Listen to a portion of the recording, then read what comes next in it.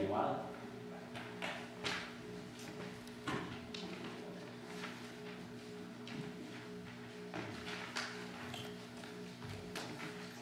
We gather here today in the name of the Lord to praise, pray, and worship. So let us rejoice. I'd like to say good morning and uh, thank you for joining me.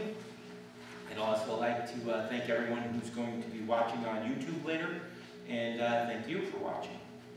So let's take a moment and look at our bulletin for the announcements.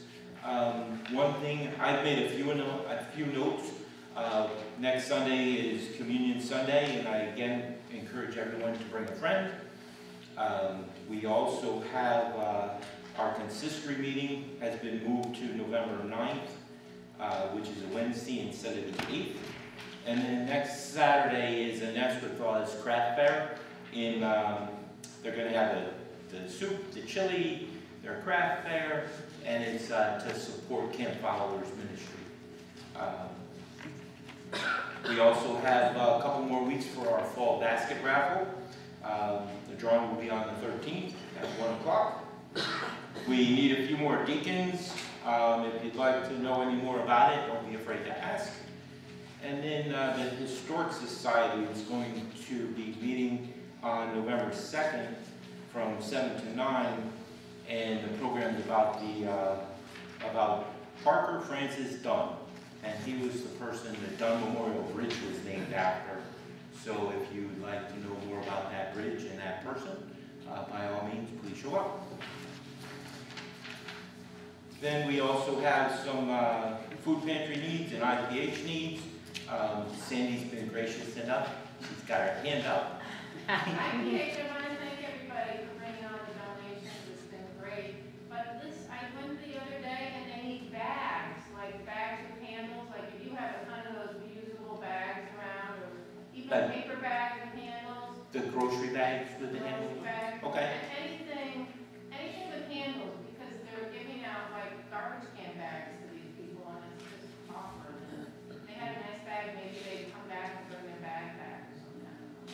That would be nice. And then I noticed that they're also in, they're also in need of uh, sneakers for men and women, uh, blankets, towels, and linens for beds, and uh, for personal hygiene, of course.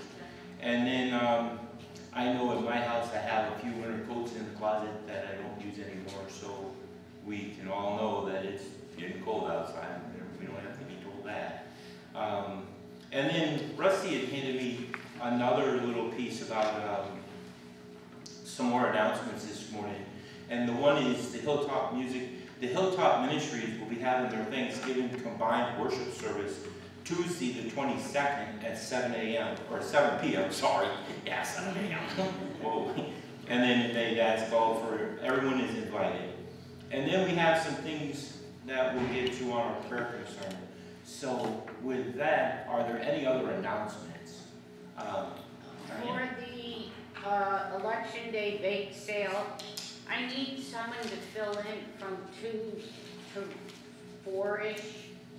Um, I have a treatment scheduled that day and I cannot make it uh, at that time frame. So I need someone to just hang out from two to four-ish uh, for election day So- bake sale. On bake sale Tuesday, Right, uh, you need someone to fill in from two to four at the, uh, firehouse. right? firehouse, yeah. And then Sandy, did you have? No, I said, I, I think I signed up for twelve to two and Rusty? We have a worship committee meeting after church service today. We're going to plan Christmas Eve. Everyone's invited. I appreciate everyone's input. So after worship service today, we'll have a worship committee meeting. So after worship today, worship committee meeting to plan Christmas. Anyone else? Oh, Deb? As far as, um, the basket raffle goes, we're still doing Wednesday nights and Sundays until the thirteenth. Um, and also as far as, um, food pantry goes, we're still in need of, um, at least probably one more turkey and some, some more funds. If you have cash or check, put a little memo on it that says food pantry and give it to Linda or I. So food pantry, we still need another turkey, and if you're gonna donate uh, put food pantry on your check. Yeah. Okay. Anyone else? Well, of course, we also have to remember that tomorrow's Thanksgiving, or uh, Halloween. Halloween, so watch out for those, you gotta watch out for those little monsters, right? And then, uh, now let's direct your attention to your prayer concerns. Um, I have a few listed here. Um, One is April Bell, health concerns. She's uh, Marie Tompkins' uh, granddaughter. And then, of course, we need to continue to pray for Dee uh, Klink. And her son Joey now has some health concerns. And then, uh, please keep Margaret Cook in your prayers. Her sister Noreen passed away on Wednesday, and she was part of the Steeple Bell Committee. Uh, So please keep her and her family in your prayers. Are there any other prayer concerns? Sandy? Um, I think we should keep Diane Sal and her sister in prayers because it's a lot of work taking care of Daryl and and kids and go the nursing home and Yeah, a lot of definitely. on Diane. And I noticed she's not here today, so, yeah, please keep Diane Salas in your prayers. Uh, Per Thanksgiving, our daughter is doing much better since her surgery. And, um, just thank everyone for their cards and prayers. Yeah, that's always a blessing when someone takes a turn for the better. Anyone else? Beck? Um, Octavia's friend, uh, he was in an accident Thursday night. Um, as of yesterday, it was he was in critical condition, but um, not sure. I haven't gotten any updates today, but it wasn't looking great. So, Yeah, so please keep. If we can keep- yeah. thank you. Anyone else? So as we begin our worship today, let us go to the Lord in prayer. Almighty and gracious God, please continue to show us your goodness and mercy. We invite you to be present and with us today by the power of the Holy Spirit. We declare that we love you and thank you for making your way of love known through your Son Jesus. We pray that you reveal his greatness of love to us as we gather to worship here today. Lead us by your Holy Spirit to praise you through your name, dear Lord. May our hearts overflow with thanksgiving and our mouths proclaim your everlasting greatness now and forever. Amen. So if you would, please join me in our responsive call to worship as it's found in your bulletin. O God, you are righteous. O God, your judgments are upright. O God, your guidance or precept in our lives is unforgettable.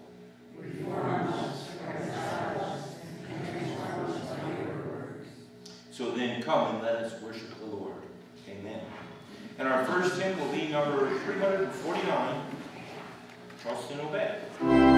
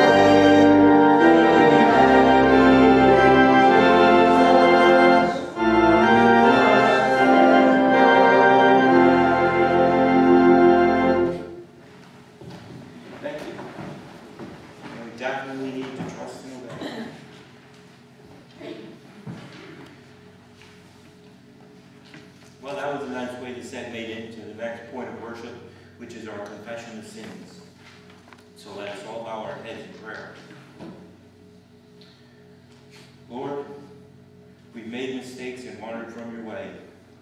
We humble ourselves before you and seek forgiveness. Dear Lord, we pause now so that you can hear our silent prayers of confession.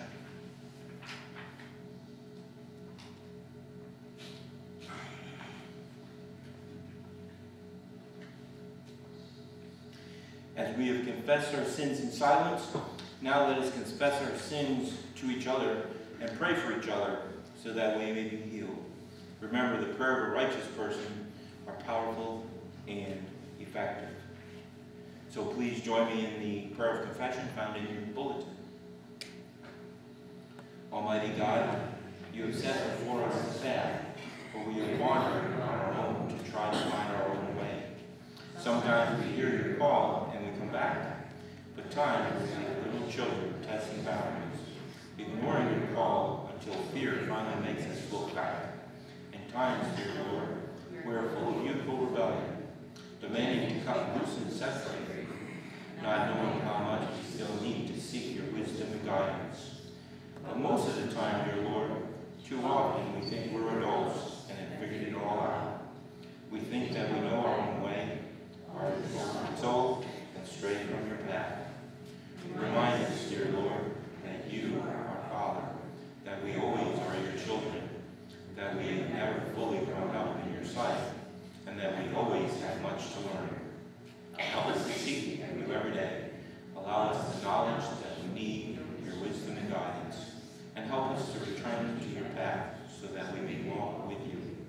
In the name of Christ, who is our companion on our journey of faith, we pray. Amen. And now, for our assurance of pardon, we hear these words. The Lord is compassionate and gracious, slow to anger, and abounding in love. He will not always accuse, nor will he harbor his anger forever. The Lord does not treat us as our sins deserve, or repay us according to our poor behaviors. For as high as the heaven is above the earth, so great is his love for those who fear him, as far as the east is from the west. So far has he removed our sins from us. In Jesus Christ we are forgiven. And then in the summary of the law, Jesus said, when asked, Master, what is the great commandment in the law? And Jesus said unto him, Thou shalt love thy Lord thy God with all thy heart, and with all thy soul, and with all thy mind. This is the first and greatest commandment. And the second is like unto it. Thou shalt love thy neighbor as thyself. And Jesus gave the second commandment and said it was like unto the first and repeated both. Jesus then said, On these two great commandments and all the law and the prophet. Amen.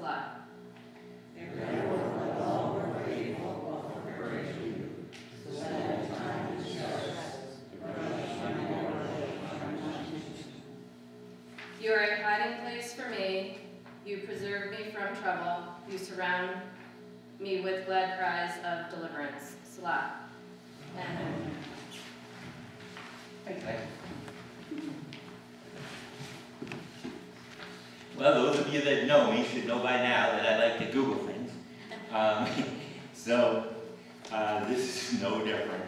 Um, so I had to look up why we said Selah at the end of a few of those responses in the responsive reading.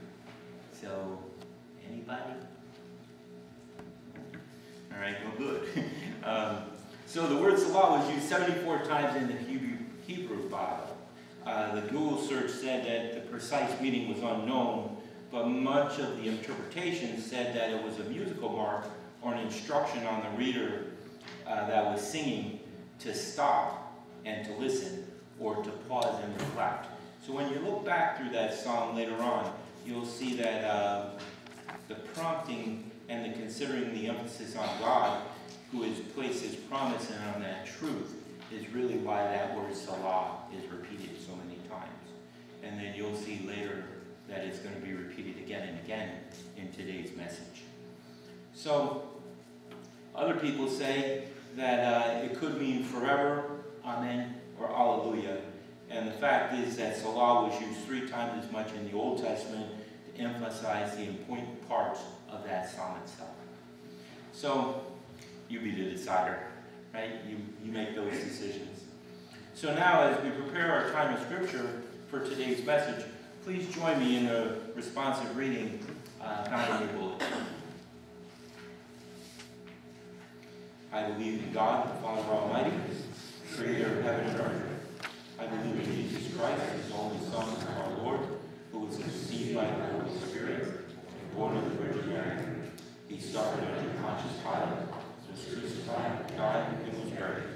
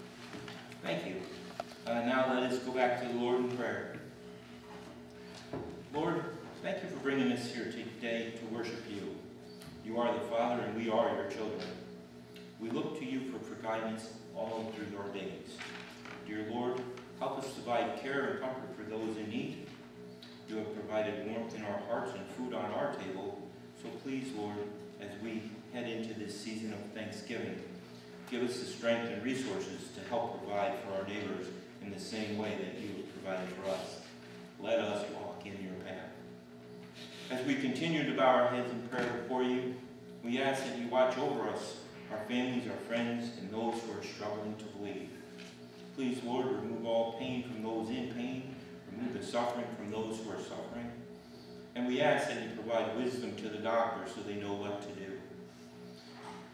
You see who is on our prayer list, dear Lord, and you know who is not on our list. Please be with Margaret as for the loss of her sister, the Clint family as they uh, struggle with their health concerns, Diane with her and her sister, and April as she is on our prayer list too. And as they all have health concerns or healing needs, please touch them, dear Lord, with your healing touch.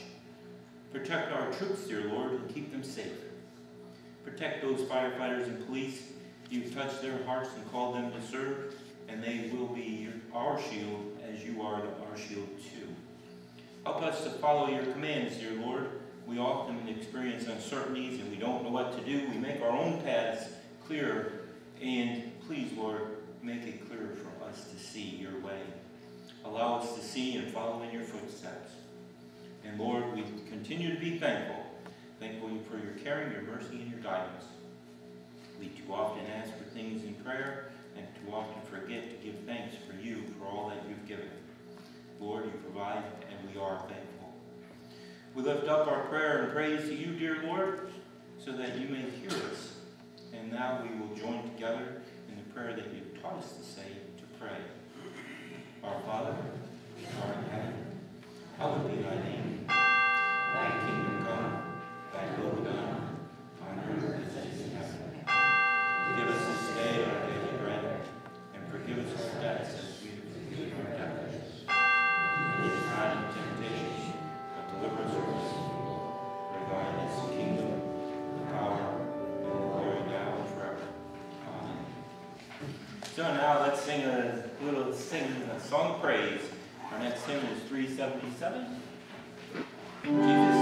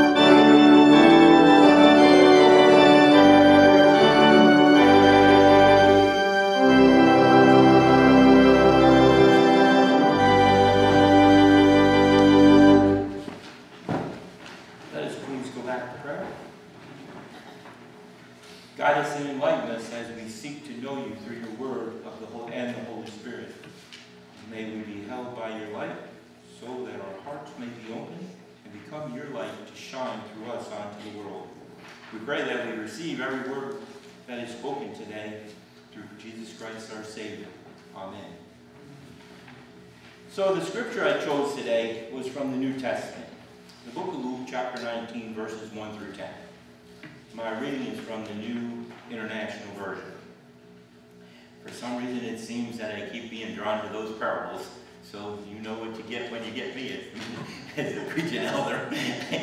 uh, so you can follow along in your Pew Bible. Uh, it starts on page 1098. Hear these words. He entered Jericho and was passing through it. A man was there named Zacchaeus. He was a chief tax collector and was rich. He was trying to see who Jesus was, but on account of the crowd, he could not because he was short in stature. So he ran ahead and climbed a sycamore tree to see. Because he was going to pass that way, uh, when Jesus came to that place, he looked up and said to him, Zacchaeus, hurry and come down, for I must stay at your house today. So he hurried down and was happy to welcome him. All who saw it began to grumble and said, He is gone to be with a guest of one who is a sinner. Zacchaeus stood there and said to the Lord, Look, half of my possessions, Lord, I will give to the poor, and if I have defrauded anyone or anything, I will pay back four times as much.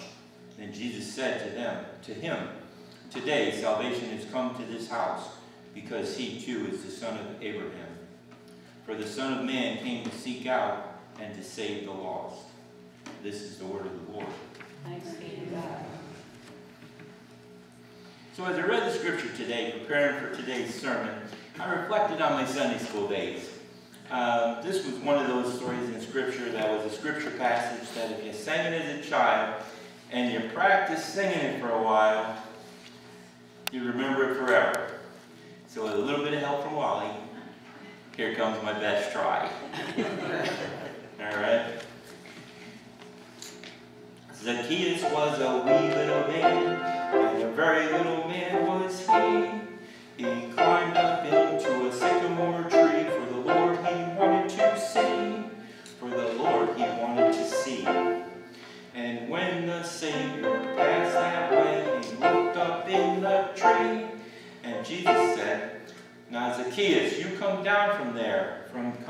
house to stay, from coming to your house today.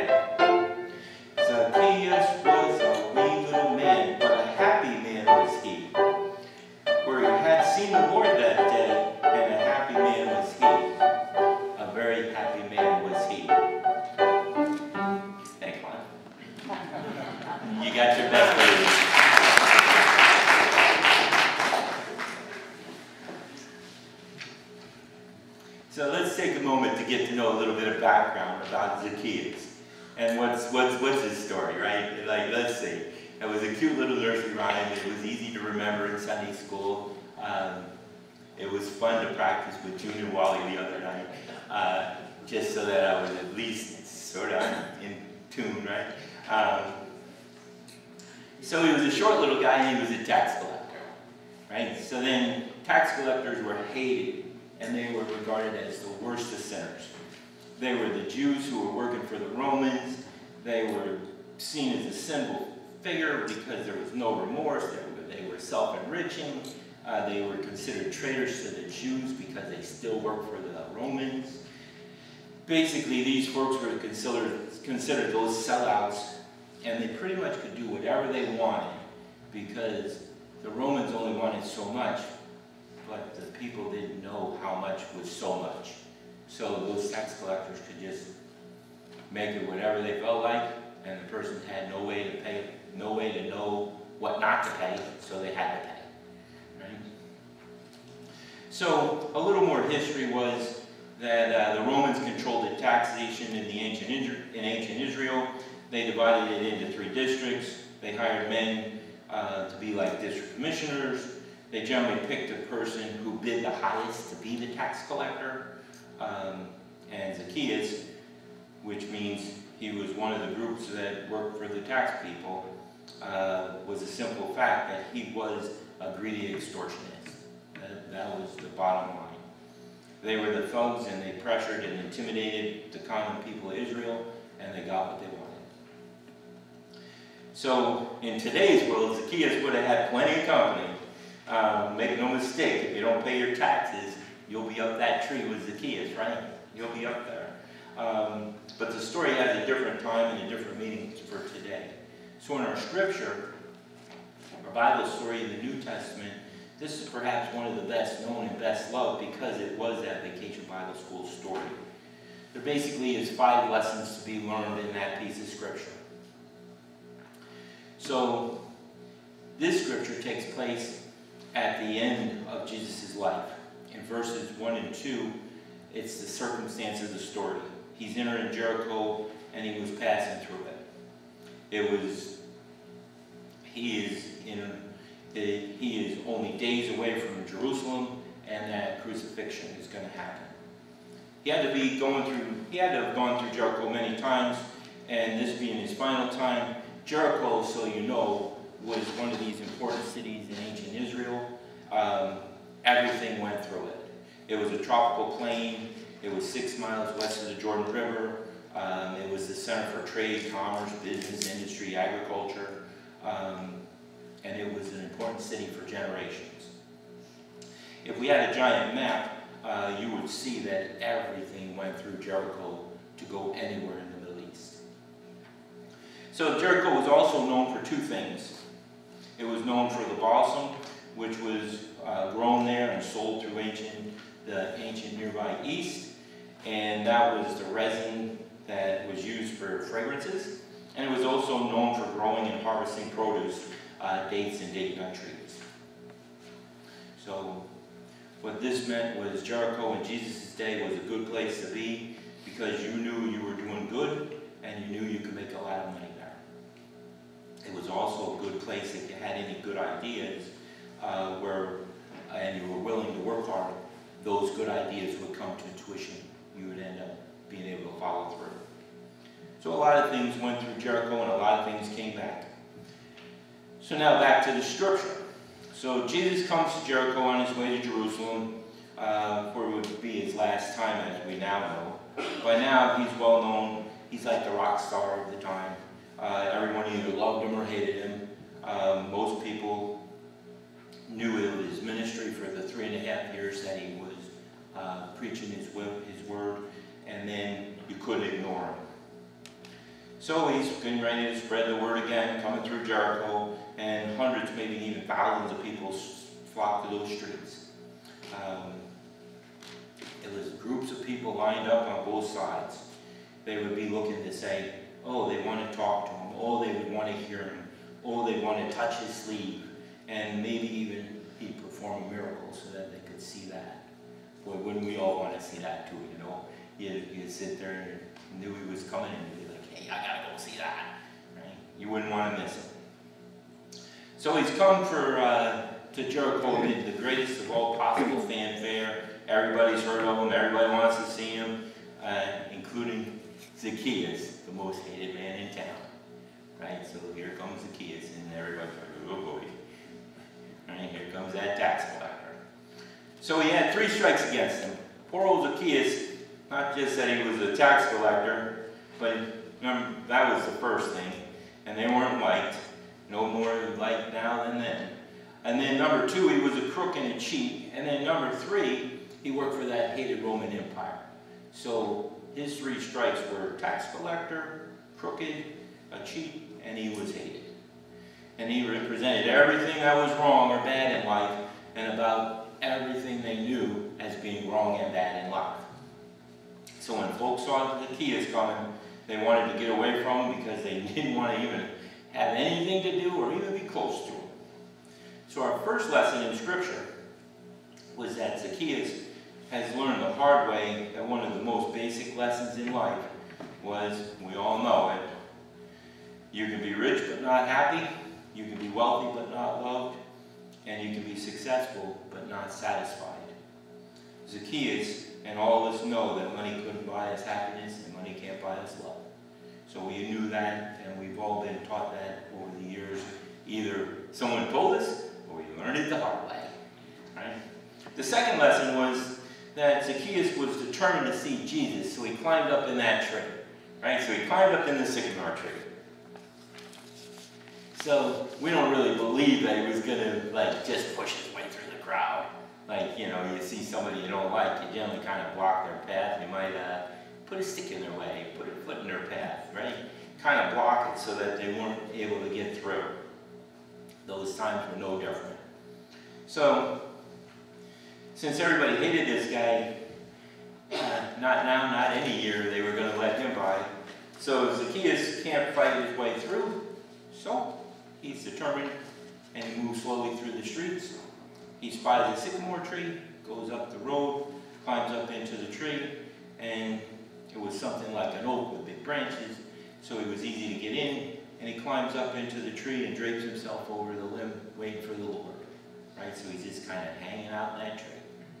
So why? So the real question is, but why? Why did he go up there? He is supposed that Zacchaeus had heard through the tax collector grapevine that Jesus was uh, a man who had met Levi. And those of you that don't know who Levi was, uh, Levi was also a tax collector. But what happened was Levi met Jesus, and then Jesus turned Levi into one of his disciples, and he became our disciple Matthew. So now all of a sudden, maybe Zacchaeus was like, hmm, he can sway Matthew or Levi, maybe he can sway me. Or do you suppose that he called out his colleague, and he, do you think it's possible that Zacchaeus, for all his money, had a hole in his heart, maybe? Maybe there was just an emptiness, and he thought that Jesus could fill that void. Right? Maybe he could fill it. So, out of desperation, he'd do anything to see Jesus and maybe have a hope of seeing a miracle. So consider this. If you had taken a poll in that day, who was the most hated man in Jerusalem or Jericho? Zacchaeus. If you said, who was the worst man in town? Zacchaeus. And then if you said, once again, who was at the top of the list of least likely to be able to see Jesus? Everybody would have said, Zacchaeus. Right? That poor guy had it all against him. People had written Zacchaeus off as a crook, a tax collector, and someone that when you saw him coming, nobody wanted anything to do with him. He was down and out, right? Down and out. But when Jesus comes down the road, he sees a man up a tree, pun intended. So he sees a man up a tree, and a man everybody hates, and Jesus wants to enter his home and enter his life. It's like, whoa, what happened? We might all be able to relate to being up that tree and want Jesus to re-enter our life. So our second lesson was to learn something in the effect that the gospel that we share, uh, sometimes we get discouraged. Sometimes our friends, our loved ones, and our neighbors don't want to listen. You might want to have something that you want to share and nobody wants to hear it. Um, well, we try to share at work. We try to share Christ with our friends and family. We try to build those bridges. We try to get people to know who Jesus is.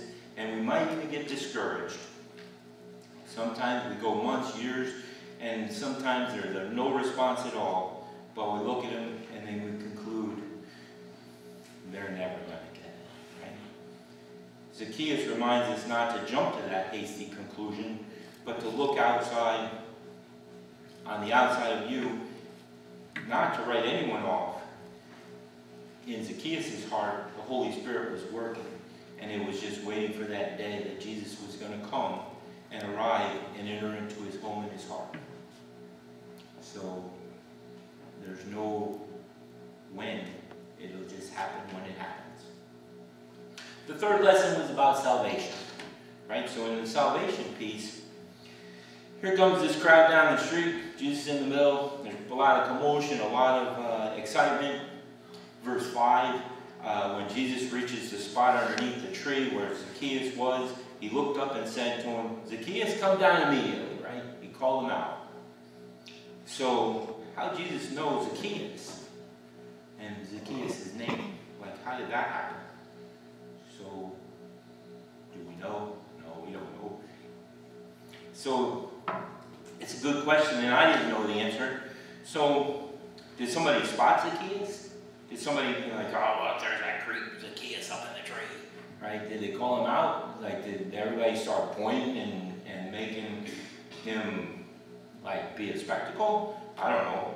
Or did Jesus somehow recognize a hungry heart? So did he see that person up a tree and go, hmm, maybe I need to do something? The surprising part was, if we look at a different gospel, whenever Jesus calls a person out, something is about to happen. So the Lord never uses anybody's name in vain.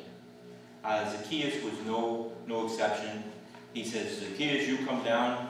I'm going to your house today. So here's what was about to happen. If we remember anything about today's service, there's a couple of things. And the couple of things would be grace and faith. So if we were going to have a little piece of paper and jot it down on your bulletin, you'd want to jot down grace and faith. Grace, that's God's, that is God's life, power, and righteous power given to us unmerited and unfavor, in, in our favor. And it's through grace that God works effectively to change our hearts and our lives. So grace gives us a new life, which is not condemned by God. And then faith, which was being able to trust God so that we know that He has our life and it's in good hands and we find strength in God and we know that He is our stability, right? So Zacchaeus is sitting there up a tree, but he still had grace, given the grace of God, and he still had that faith that something was going to happen. Okay? So the scripture says he came down and welcomed Jesus gladly. So this is the doctrine of free grace and the story of salvation about Zacchaeus being up a tree in more ways than one, and then that Jesus had an interest in him, and he had been watching and waiting, and now here comes Jesus. So it was like, bam, here he comes, right? And now the next thing you know, Jesus stops, calls him out, says, Zacchaeus, come on down. This is the grace of God where salvation begins. Remember that Zacchaeus had nothing. He had nothing to give.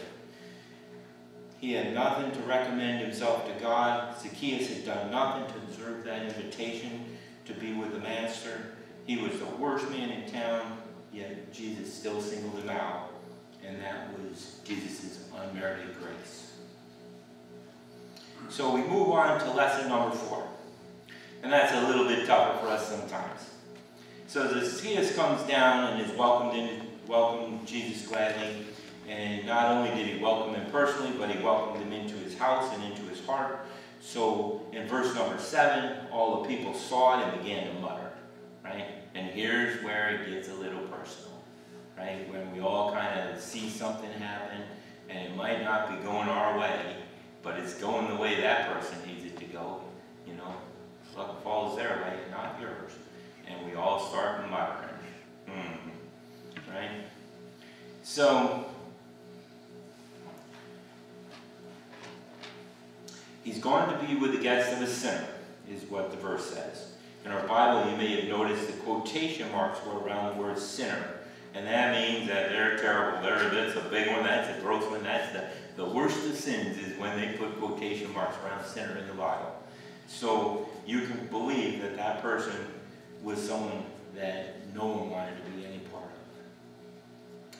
So the crowd began to mutter, and even today we tend to be quick to judge and be quick to mutter.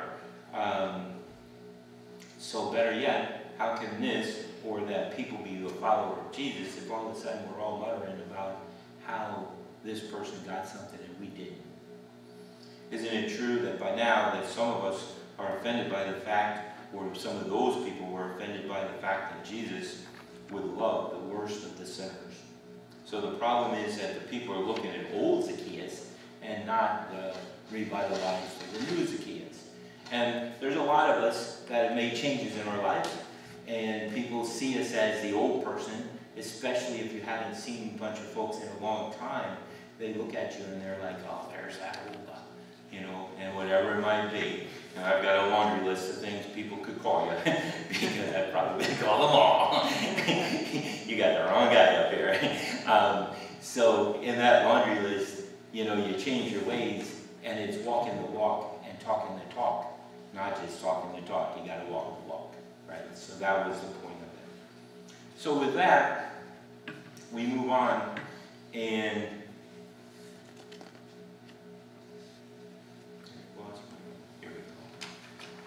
So we move on, and it's the, the background of Zacchaeus has changed, and because he's changed and he's new inside, people, it's just gonna take time for people to see, because you have to show them, right? You have to be the new person that you are, not just say you've changed.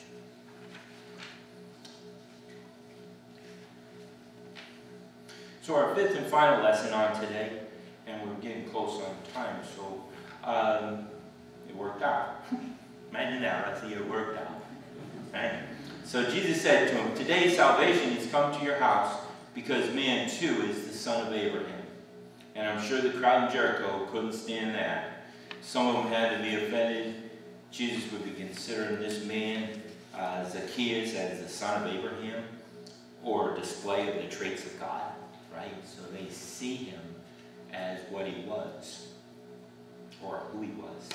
They thought he had been, uh, they thought they had had it made, and they had already counted Zacchaeus out. But the matter of fact was, Jesus was saying that the son of Abraham is not someone who has the right kind of birth certificate, but the son of Abraham is the one who has the kind of faith that Abraham had. Zacchaeus had that faith, and he had demonstrated it by his change. So in verse 10 gives us the moral to the story, um, and the last part of the verse. So the Son of Man came to seek and save for what was lost. Why did Jesus come? Why is our church here? And then the Son of Man came to seek and to save what was lost.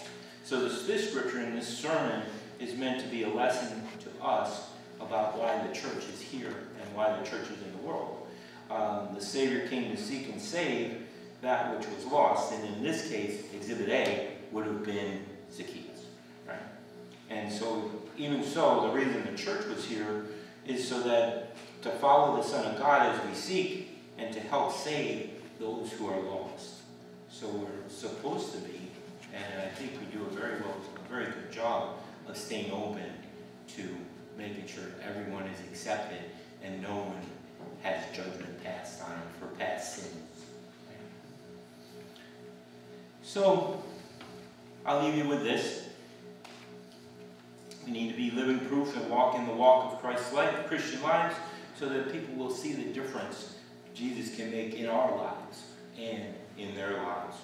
We write our own book, and we can change every page as we move along uh, in our story day to day. Our book is not finished until our end, and then we can never judge a book by its cover. Right? And that, and that, why our, never judge a book by its cover. So a brief prayer, and then uh, we'll be ready for offering. Uh, let us pray. God, help us to be the living proof wherever we go this week and always. Amen.